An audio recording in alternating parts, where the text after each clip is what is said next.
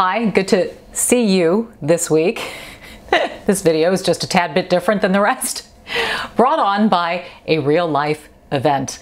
I started to develop itching and redness in my right eye and it was underneath felt like a grain of sand. And as I kind of popped the lid and looked underneath sure enough I saw a sty. And then it got worse and I was going to work. And so I had to put on makeup. And then I noticed another sty. So I had dual I had friends hanging out underneath my eyelid just irritating me to death. And it got infected, and then I woke up the next morning and my eyelid was shut. And I posted about this lovely adventure on my Instagram account, right here. And lo and behold, a day later, I got 566 comments on this. Now, this is not a post that's going to generate a lot of likes because there's really nothing to like about a grossed out eye. But what fascinated me about this was the number of responses and the number of remedies you all provided. And, and it was ironic. So many of you said, oh my goodness, I'm dealing with this right now. Try this, try that, do this, do that. So what I did was I started to compile a list of all the things that you guys were suggesting and it was starting to overlap there were some common threads and so I took that information and I went online and I searched up you know homeopathic sty eye treatments natural remedies things like that sure enough everything checked out and then some. We have all dealt with this. We have all dealt with eye infections that come from bacteria and dirty makeup and brushes and so forth. And I will be the first to admit here, I know the brush that did it. I know it. It was it was dirty. It was a brush that I'd been using for top lining and I hadn't washed it in in a while. And sure enough, I started to feel the irritation the next day. That's going to be part 2. Is the actual cleaning of brushes and pencil sharpeners and things like that to prevent this from happening. But since this did happen, let's talk about ways to remedy it. So many of these things you have in your home right now. If you are dealing with a sty, we are going to nip this thing in the bud and as quickly as possible. But it's a clogged gland in the eye, an oil gland, usually from a type of bacteria. The sty presents itself as basically a pimple. That's what it is. It's disgusting, but it's a pimple that forms right along the lash line or underneath the eye.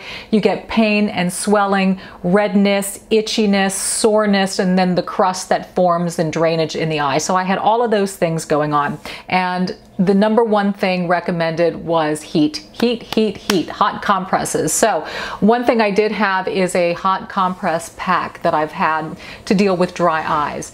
And there are so many hot compress packs out on the market, but this one, you just take it, you microwave it for 20 seconds. The little beads inside the eye pack warm up and then you just strap it. There's a Velcro strap on this one. You strap it around your head, leave it on as long as possible. You know, they recommend 10 minutes at a time, several times a day. So I'll just take it, I'll go find a nice comfy chair and just chill out. I can breathe, meditate, relax, and allow that to open up the glands and allow the fluid to start coming out big big help. That's that's priority one is just getting heat to the eye and getting those glands to open to help the sty to drain naturally. Uh, one thing you don't ever want to do is to pick poke and prod at the sty because you can open it, but getting that out that way can lead to even greater infection in the eye. So whatever you do, as tempting as pimples are, do not be tempted to pop the pimple that's in your eye. Uh, here's another way to deliver heat and also some anti-inflammatory natural medicine, and that is to use a warm tea bag. This came up all through the thread of comments using either black tea or green tea. Black tea really works because it has antibacterial properties and decreases inflammation. Green tea has the same effect. I've got an Insta hot water heater here at my sink, so I basically just take a glass and I fill it up a little bit with the hot water. I take a green tea bag, an organic tea bag, and I just steep it for about a minute. They say you can let the bag cool. I prefer to keep the bag warm because again, it's more heat delivery. I just squeeze out the excess water from the tea bag, take the bag itself and apply it to the eye. It's recommended that you do it for about five to 10 minutes. So the bag is gonna cool quickly. I will just take it off, re-dip it in that water, squeeze out the excess and apply it again to the eye and do that over and over until you've built up about five minutes of time with the uh, tea bag. Now another trick is you can actually take a little spoon that you've been stirring it with, put that spoon in the tea water, then take the spoon and the crevice part push into the eye because it fits perfectly inside the eye. And you use that because it's immediate heat and also a little bit of pressure on the lid can help loosen that sty and, and a little pressure is good to get that little pocket to open up and to release that bacteria. So you can combine it also with the spoon technique.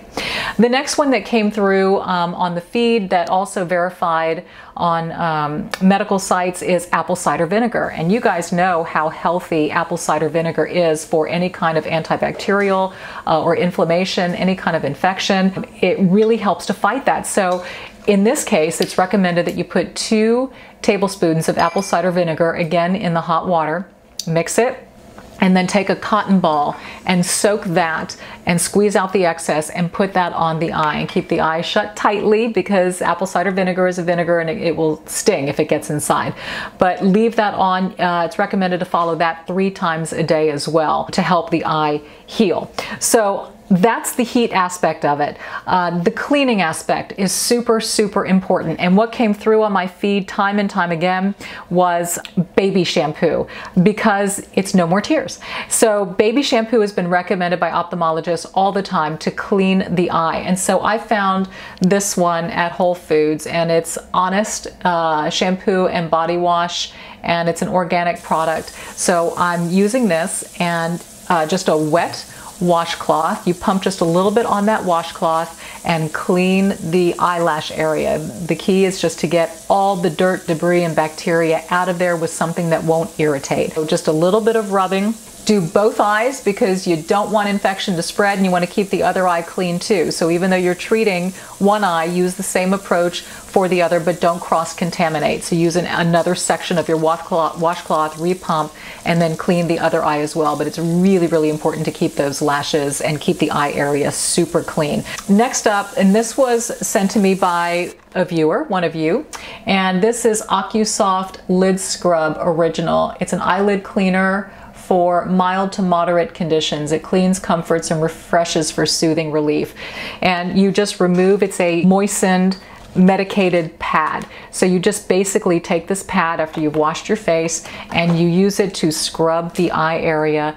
Do that for about 30 seconds and then you need to rinse it off with warm water. But again, this completely cleans the eye area. It has an added benefit of calming and soothing. What I will add to that is that in my case, um, I had two styes that started to form and the crusting and, and the closing. So it was clear that this thing was spreading and getting more infected. So I wound up going to my doctor and I got a prescription tobramycin um, drops to, to treat this infection in my eye. But I'm doing all of the other things um, along with this to help speed up the process. And if it didn't get infected, then I would have been doing all of these other things anyway, based on your recommendations. And the last one that I'm following it up with is something that I had here in the house, and that is uh, calendula. And I don't know if you have this, but if you ever use hydrocortisone for anything, this is your natural substitute. It's calendula cream. It's by E Organics. It's an all natural cream for um, baby eczema, baby rashes, and more. I use this if I get any kind of itch or irritation anywhere. I have ditched the hydrocortisone. It is an immediate relief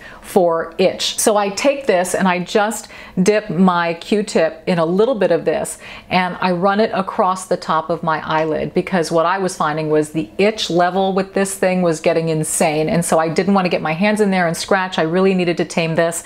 This is also a very thick cream so it didn't run or, or drip down into my lash line or cause any irritation but it immediately soothed the eye and it kept my hands away from it which is great. Obviously it's recommended not to wear makeup or use contact lenses, I'm kind of stuck because I have a job where I have to have makeup on and a lot of it. Have been diligent, super diligent with cleaning brushes, makeup, and all of that, which is, like I said, going to be part two of this video. I'm going to show you a lot of different makeup brush cleaners out there, ways to disinfect our uh, pencil sharpeners and all of that, and mascara, when to ditch, and, and so forth and so on, so we can prevent ourselves from getting into this situation in the first place. But since we are here, we may as well find some really good at-home remedies to deal, to speed up the process, to hopefully prevent infection in your case. Anyway, um, I can't thank you enough. I appreciate you as always for sharing. You bring such value to this platform and uh, you know it's you are you have no idea how much you help me and how much you help your fellow woman. Because of you and your comments it created a video and for whenever we are ever stuck with situations like this, at least there's a video database here on how to deal with it and, um, and carry on. Any other thoughts, suggestions for anything dealing with any of this, please leave it in the comments section below. Like I said, I will see you next week with part two. Go out, be bold, and be blessed. Don't be inflamed and irritated, and I will see you in a week. Bye.